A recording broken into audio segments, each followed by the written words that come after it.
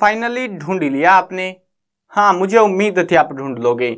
आज की इस वीडियो के अंदर मैं आपको बताऊँगा class six history chapter number three in the earliest cities चलो शुरू करते हैं। मैं हूँ अजय और आप देख रहे हैं सी सी एल क्लास हाँ एक चीज़ बता देता हूँ वीडियो के स्टार्टिंग में। आपको इस चैप्टर के notes textual question important question and M ये सारी चीज़ें लिखी हुई मिलेंगी, साथ में आपको वीडियोस भी मिलेंगी। तो डिस्क्रिप्शन में दोनों लिंक ज़रूर से चेक करना पेज का और प्लेलिस्ट का दोनों लिंक है। आराम से पढ़ना, मज़ा आएगा। अब यहाँ पे जो कुछ भी ये लिखा हुआ बस इतना सा ही है चैप्टर में, बहुत शॉर्ट चैप्टर है। इन शॉर्ट आपको एक क्विक रिवीजन देना चाहूँ तो एक मिनट में चैप्टर भी खत्म हो जाएगा। लेकिन वो कहानी है ना, जो वो मज़ा नहीं आएगा। देखो, हमें जो है इन शॉर्ट बता देता हूँ क्या क्या होता है। पहले तो उसके बाद कहानी डिटेल में करेंगे। आर्कियोलॉजिस्ट, ये वो लोग होते हैं जो प्रूफ ढूंढते हैं पिछले चैप्टर्स में, हम पढ़ते आए हैं। हमें कुछ साइट्स मिली, हड़प्पा नाम की साइट मिली, जहाँ पे जो है कैथाडेल और लोअर टाउन नाम की दो जगह मिली। मोहनजोदारो मिली, जहाँ पे ग्रेट बाथ मिला हमको। कालीबंगा, लौथल, ये कुछ जगह मिली, जहाँ पे हमें फायर अल्टार्स मिले, यानी कि जो अग्निकुंड होते हैं, वो मिले। धोलावीरा, यहाँ पे जो है शहर कुछ अलग तरीके से था, यहाँ पे तीन बिल्डिंग्स मिली हमें, जबकि हड़प्पा में सिर्फ़ दो बिल्डिंग्स थी। बस, इतना ये इसमें। अब आप बोलोगे कि भाई ये तो कुछ हुआ ही नहीं, बात ही नहीं बनी, मज़ा नहीं आया। चलो, अब ये तो थी डेमो आपका, चैप्टर इतना सही है। और हाँ डेमो में वीडियो बड़ी होती जाएगी, क्योंकि डेमो में मज़ा नहीं आता। पूरे कहानी सुनने में मज़ा आता है। तो कहानी शुरू करते हैं। This was a time around forty seven hundred years ago लगभग सैतालीस सौ वर्ष पुरानी बात है। कितनी? चार हज़ार सात सौ साल पुरानी बात है। कोई जगह होती थी। शहर बसा हुआ था, पूरी पूरी सिटीज़ थी और वो खत्म हो गई। लेकिन हमें कैसे पता चला वो खत्म हो गई? लगभग 180 साल पहले, लगभग, ठीक है? कुछ नहीं है, लगभग है। ऑलमोस्ट 180 एटी ईयर्स एगो एक रेलवे ट्रैक बिछाया जा रहा था। पंजाब पंजाब में मतलब पंजाब के अंदर, जो कि अभी पाकिस्तान का, पंजाब का आपको पता हो तो पंजाब है ना, दो हिस्सों में टूट गया था। थोड़ा सा हिस्सा पाकिस्तान को भी चला गया उसका। तो हरियाणा भी पंजाब में से बना। अब जो पाकिस्तान के हिस्से में चला गया ना, उस वाले एरिया में की मैं बात कर रहा हूँ तो वहाँ पे जो है रेलवे ट्रैक बिछाया जा रहा था। रेल की पटड़ी बिछाई जा रही थी और उस रेलवे ट्रैक के लिए ईंटें चाहिए थी। वो भी मज़बूत, ताकि वो रेलवे भाग ना जाए किधर और फिसल के। तो उन्होंने क्या किया, ऐसे ही मतलब देखा कि लोग यहाँ से है ना, इस जगह सी पे जाके और ज़मीन खोदते हैं, ईंटें लेके और अपना घर बना रहे हैं। उन्होंने भी खोदना शुरू कर दिया। लग गए काम पे। यकीन नहीं मानोगे भाई आप मतलब वहाँ पे इतनी सारी ब्रिक्स मिली, यानी ईंटें, कि उनसे उनका पूरा रेलवे ट्रैक बन गया। क्या बन गया? पूरा रेलवे ट्रैक बन गया। कुछ यकीन हो रहा है? मतलब इतनी सारी ईंटें मिल गई उनको। एक पूरी लंबी रेलवे लाइन उन्होंने बिछा दी उधर। चलो, ये बात चली गई। रेलवे चलती रही, अपना काम चलता रहा, लेकिन अस्सी या सौ साल के आसपास की बात है। देखो, मैं आसपास क्यों बोल रहा हूँ? बताऊँ। देखो, ये बुक लिखी थी 2005 में। अब चल रहा है इक्कीस या बाईस जब भी देख रहे हो। तो उस टाइम पे, और इस टाइम में पंद्रह बीस साल तो ऐसे ही गैप हो गया, और पता नहीं इन्होंने अपडेट किया कि नहीं किया। मैंने ज़्यादातर बुक्स देखी हैं अपडेटेड नहीं है वो, ठीक है? लेकिन इसीलिए मैं अंदाज़ा बोल रहा हूँ, रटने की ज़रूरत नहीं है। बस कहानी सुनो, और ये साल तो याद रखना भी मत, कोई ज़रूरत नहीं है इनकी।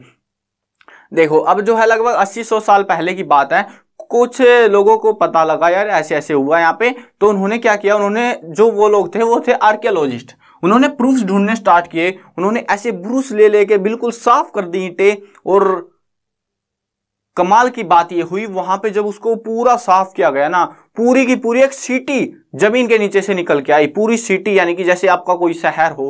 मानिए चलो, गाँव की बात नहीं कर रहा मैं, शहर की बात कर रहा हूँ। इतनी बड़ी सिटी एक बाहर निकल के आई और जिसमें से जो है कुछ एक थोड़ा सा जो है मतलब थोड़ा तो नहीं, काफ़ी ज़्यादा था वो। वो हिस्सा जो है रेलवे वालों ने उड़ा के ले गए उसमें रेलवे ट्रैक में। ठीक है, लेकिन फिर भी बहुत बड़ा हिस्सा बचा हुआ था। वो जगह थी हड़प्पा। क्या नाम था जगह का? हड़प्पा। अब ये जो जगह है, ये है पाकिस्तान के अंदर। यहाँ पे हमको क्या मिला? कुल मिला के जो बचे हुए थे, जो भी सबूत मिले हमको, कुल मिला के उनकी बात करेंगे हम।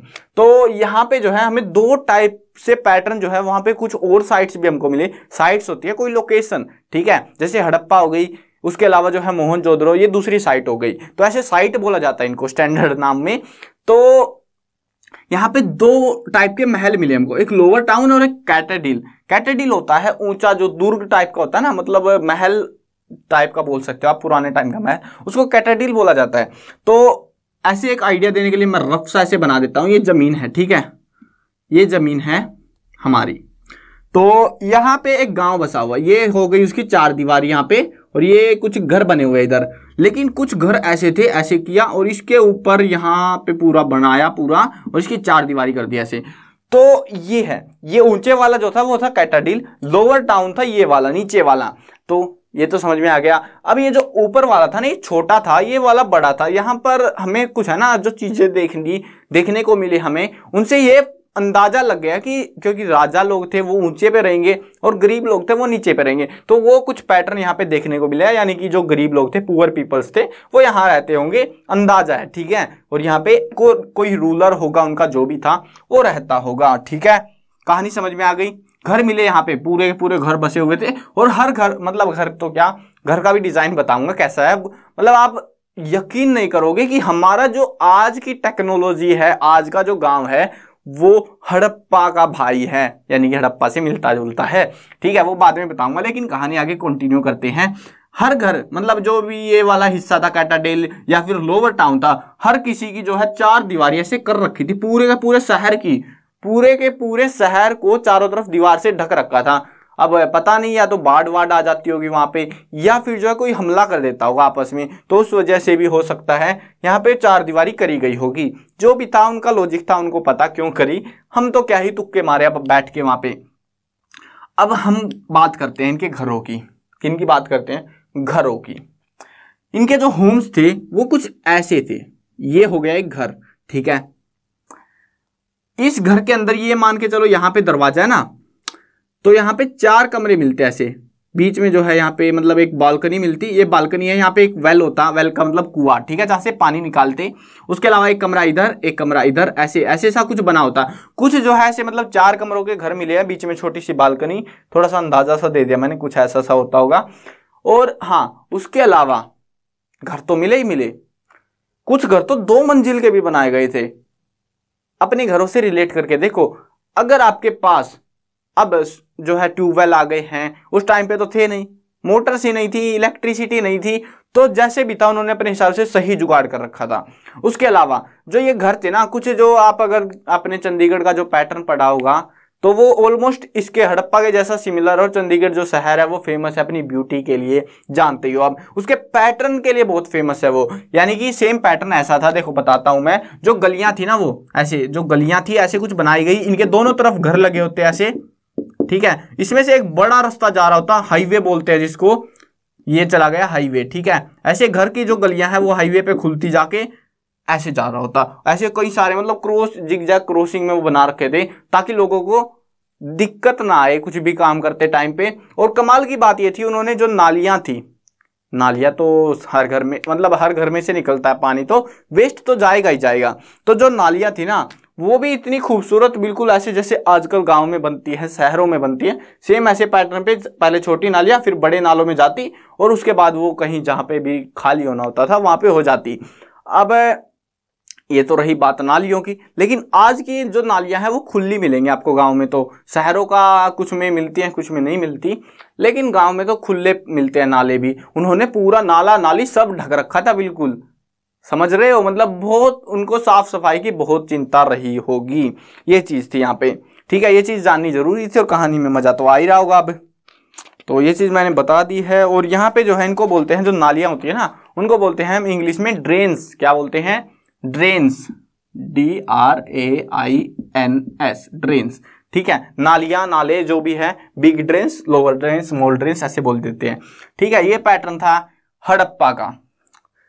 हड़प्पा के जैसे और भी बहुत सारे इलाके थे। अब ये सारी जो कहानी है ना इंडिया अगर आपको पता है इंडिया का छोटा सा मैप बनाता हूँ, इन शॉर्ट वाला तो उस मैप से आपको थोड़ा और आइडिया लगेगा कि कहाँ हो रहा था ये सारे क्रियाकलाप। ये है इंडिया ऐसे सा कुछ है, यहाँ पे जो है ऐसे सा। देखो, मैं बहुत क्विक वाला बना रहा हूँ, ये थोड़ा टेढ़ा हो गया ना। इधर नहीं था, ये इधर था, इधर लेके आते इसको। ऐसे सा कुछ, ठीक है? तो जो ये वाला हिस्सा था ना, ये वाला, इधर वाला, ये। ये वाला। तो इसी में था ये सारा कुछ, ठीक है? हड़प्पा भी यहीं पे, पाकिस्तान देख लो ना, पाकिस्तान कहाँ पे पड़ता है? उधर वाली साइड में। अब ये बात आती है मोहनजोदारो की एक दूसरी जगह है। यहाँ पे हमको एक ग्रेट बाथ मिला। बाथ का मतलब नहाना, और ये नहाने की जगह मिली स्विमिंग पूल मिला, तैरो। वो भी बहुत पुराना, हड़प्पा के टाइम का। बहुत बड़ा था पैटर्न खूबसूरत था। कमाल की बात ये नहीं थी कि वो बना हुआ था, खूबसूरत था, डिज़ाइन अच्छा था। कमाल की बात आप जानोगे तो चौंक जाओगे। ये जो है बनाया गया था पक्की ईंटों से, ठीक है? ब्रिक्स से बनाया गया था। उसके अलावा जो है इसके ऊपर प्लास्टर किया गया और नेचुरल तार इसके ऊपर चढ़ाया गया। तारकोल जो होता है तो वो उसके ऊपर लेयर्ड था, यानी कि कुल मिला के पानी बाहर निकलने का चांस ही नहीं। पानी लीक ही नहीं होगा, इतना पक्का जुगाड़ इन्होंने कर रखा था। और वो जो ग्रेट बाथ था वो आज तक भी सही सलामत हमको देखने को मिला है। उस ग्रेट बात की कुछ खास बातें आपको बता देता हूँ, जो कि आपके लिए ज़रूरी है, मायने रखती हैं। ठीक है? तो हड़प्पा हो गया ना हमारा। हड़प्पा याद रहेगा ना? क्या क्या सीन था हड़प्पा के अंदर?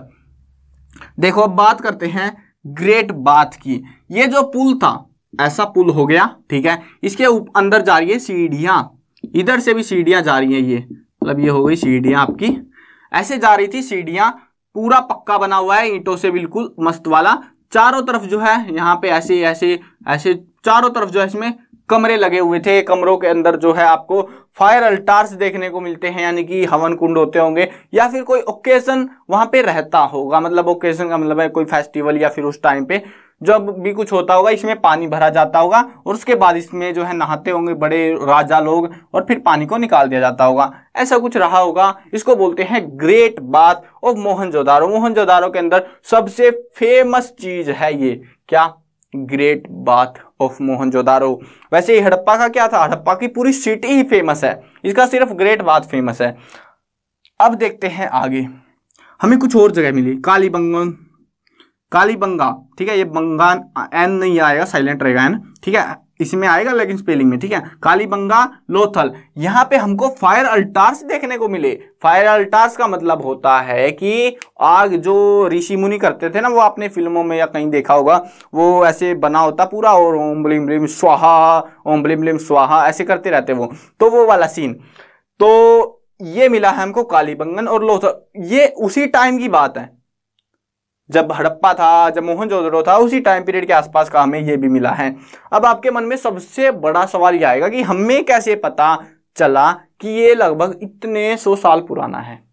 हज़ार, दो हज़ार पाँच हज़ार जितना भी बताया इन्होंने, सैंतालीस सौ साल पुराना बताया है तो ये हमें कैसे पता चला इतना पुराना है? देखो, पहली बात हम तुक्का मार रहे हैं, दूसरा हमने कार्बन टेस्ट किया हुआ है। कार्बन टेस्ट ये होता है कि उसमें ये पता लग जाता है कि ये जो मटेरियल है ना, ये कितना पुराना है।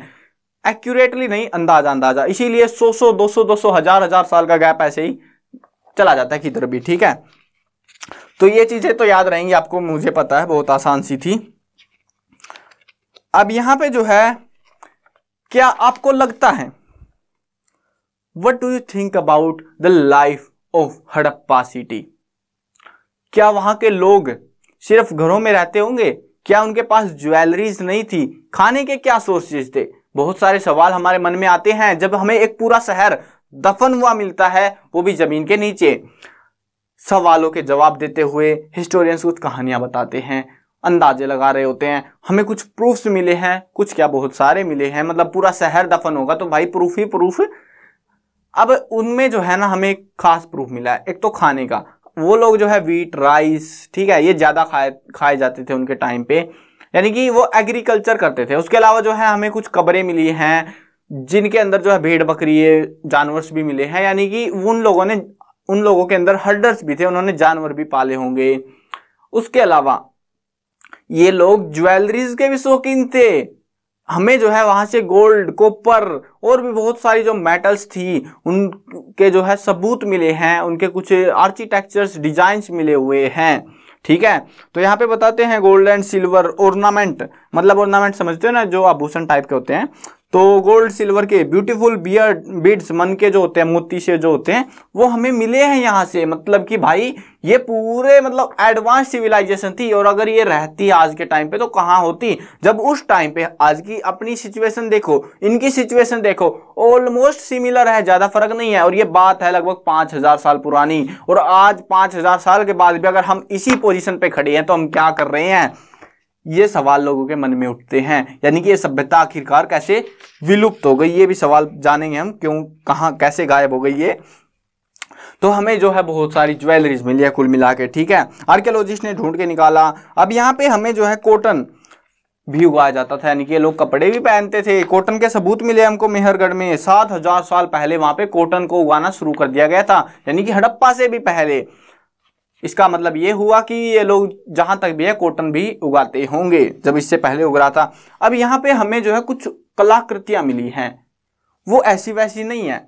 उनके अंदर बहुत अच्छी कलाकारी है जो आज के टाइम पे आप नहीं कर पाओगे। ऑब्वियस बात है, आज के टाइम पे बहुत टाइम बर्बाद होता है उन कलाकारियों को करने में।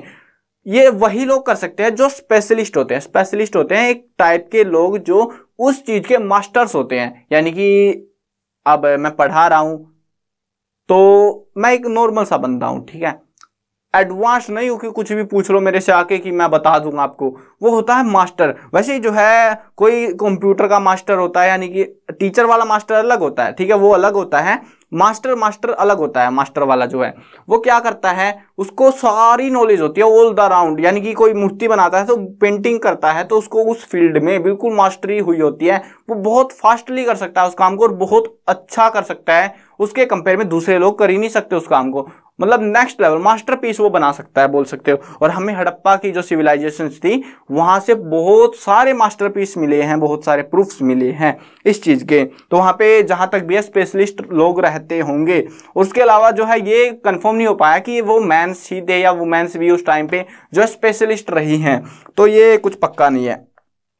अब जो हड़प्पा था, आपने जाना वो ज्वेलरीज इस्तेमाल करते थे कॉपर गोल्ड सिल्वर ये सारी चीज़ें आती कहाँ से थी? क्योंकि ये जो एरिया है ना, ये वाला, यहाँ पे ये नहीं होता। यहाँ पे ये नहीं है। तो ये लोग आते कहाँ से थे? यहाँ पे बताते हैं कि जो आज का राजस्थान राजस्थान जानते हो ना? तो स्टेट है इंडिया का। तो वहाँ से बोलते हैं कि अंदाज़ा है कि वहाँ से शायद ये कॉपर जो है इंपोर्ट कराते होंगे अपने एरिया में। उसके अलावा बताते हैं ओमान से ये जो है ओमान एक कंट्री है। वहाँ से जो है ये, उसके अलावा कुछ और सामान मंगाते होंगे। ऐसे मतलब अड़ोसी पड़ोसी कंट्रियों से मंगाते होंगे। उस टाइम पे कंट्री नहीं थी कुछ भी। जो भी रहा उनका पैटर्न था, लेकिन हाँ वो मंगाते थे, यानी कि बाहर से चीज़ें मंगाया करते थे। कुल मिला के हमें ये चीज़ समझ में आई और बहुत सारी चीज़ें मंगाई गई है। गुजरात तक से भी मंगाई हुई हमें वो प्रूफ्स मिले हैं, क्योंकि वहाँ पे वो नहीं थी।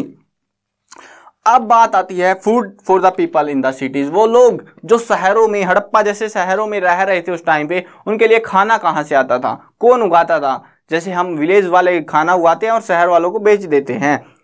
For the profit for the money for the income वैसे ही वो लोग भी करते थे, वो लोग भी गाँव में जो लोग रहते थे, वो फ़ार्मिंग करते और उसके बाद वो क्रॉप जो उगती, अपनी तो रखनी थी, बाकी जो है शहर जाके किसी चीज़ के बदले कुछ दूसरी चीज़ वो लेके आ जाया करते थे। ऐसे होता था। और उस टाइम का फ़ेमस वेपन आपको पता है आ, पिछले चैप्टर में हमने पढ़ा था कुछ एजिस के बारे में। ठीक है? तो उस टाइम पे जो है ज़्यादातर जो चीज़ें थी वो स्टोन्स की बनी होती थी। किसकी? स्टोन्स की। लेकिन हमें यहाँ पे कुछ हथियार मिला जिसको बोला जाता है प्लो प्लो का मतलब होता है हल।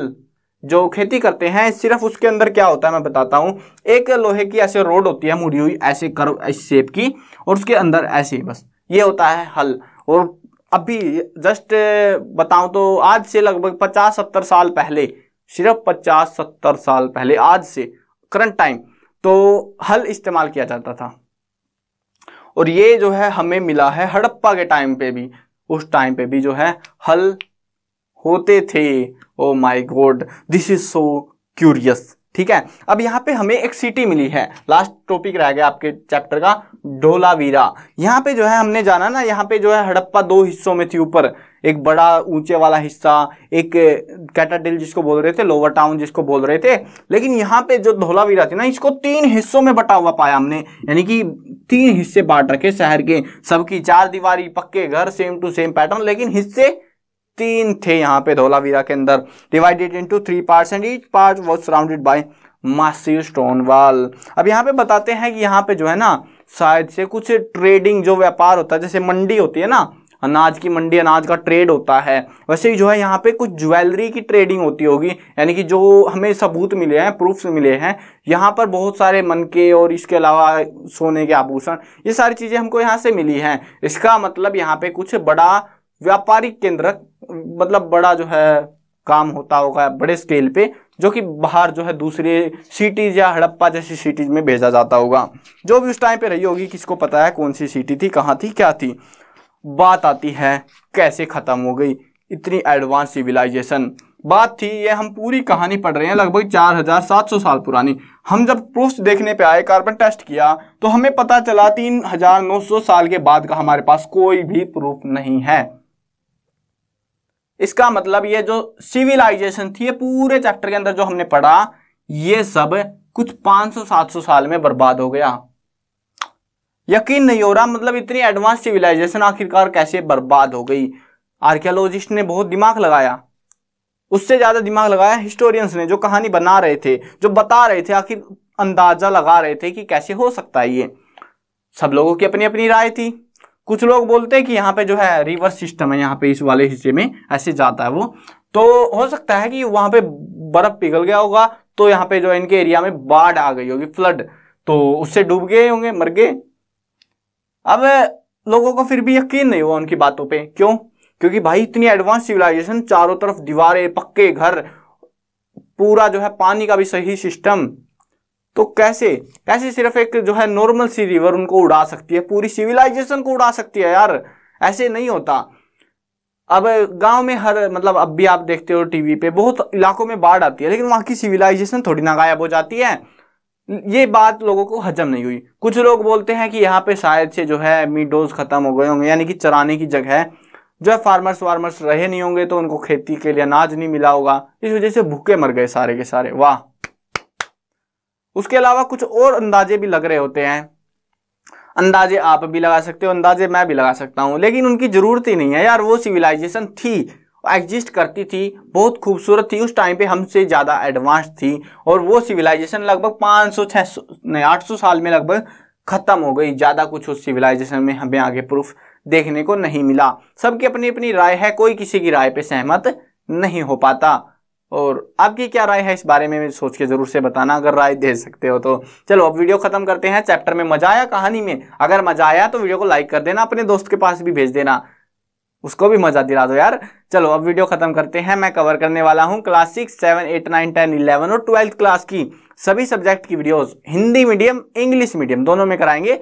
चिंता की क्या बात है? सब्सक्राइब करो, साथ में घंटी दबाओ, ताकि आप बिल्कुल अपडेट टाइम से पाओ।